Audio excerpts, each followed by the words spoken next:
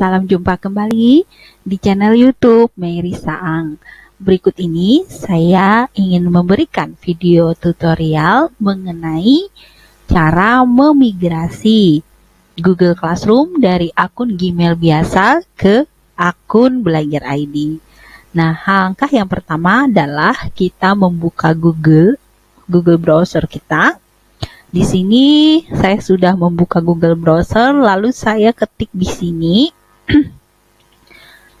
Class Migrator. Seperti itu ya. Kemudian saya klik Enter. Nah, di sini ada beberapa uh, pilihan. Nah, di sini pilih saja yang classmigrator.com. Di sini saya klik saja linknya. Nah, seperti ini. Nah, sudah muncul seperti ini. nah, tadi uh, saya sudah memasukkan ya akun Google Classroom saya dari email yang lama. Ya. Nah, di sini dia sedang uh, loading untuk mendapatkan kelas. Nah, saya logout dulu. Nah, seperti ini. Jadi kita perlu masuk dengan menggunakan akun uh, Gmail kita yang lama, yaitu akun Google Classroom kita yang lama menggunakan akun Gmail. Diklik saja masuk di sini, akan muncul verifikasi untuk akun Google. Kemudian uh, saya di sini memilih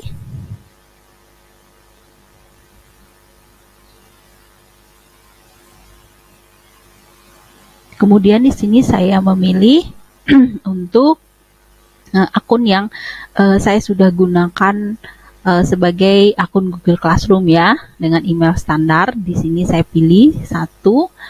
Hmm, kalau misalkan belum punya, silahkan diklik gunakan akun yang lain ya atau tambahkan akun begitu. Nah, jika sudah masuk, dia akan seperti ini. Nah, ini pilihannya. Ini adalah beberapa kelas yang sudah saya buat di akun Google Classroom saya yang lama ya. Nah, seperti ini.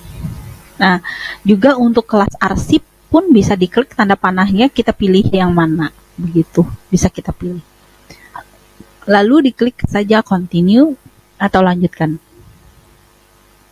Dia akan berusaha mencari informasi mengenai kelas kita tadi yang ada di akun kita. Nah, seperti ini muncul sudah ya uh, informasi dari uh, kelas di Google Classroom kita.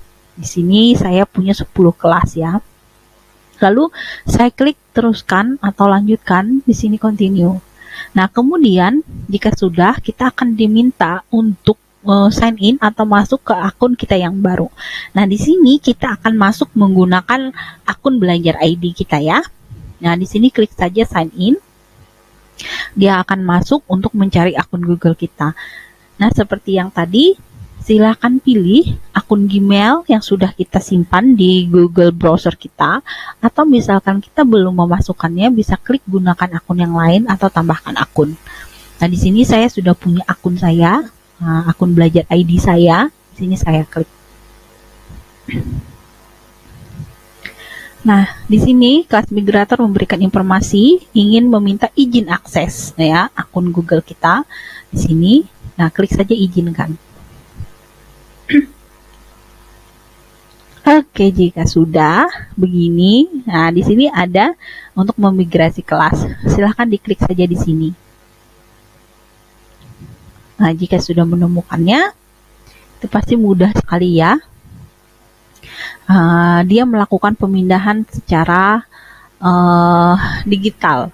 Jadi kita tidak perlu repot-repot untuk membuka akun uh, baru atau uh, maksudnya tidak kita tidak perlu repot-repot membuka kelas baru di akun belajar ID kita uh, menginput ulang peserta didik kita, mengupload ulang materi-materi maupun tugas-tugas yang sudah kita upload, yang sudah pernah kita upload di akun Google sebelumnya. Nah, ini kita bisa melakukannya dengan simpel dan mudah.